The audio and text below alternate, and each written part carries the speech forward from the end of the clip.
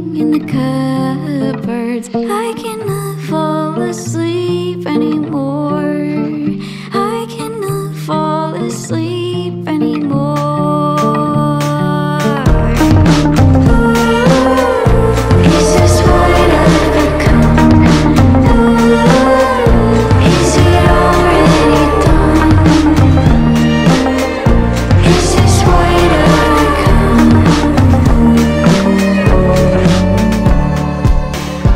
60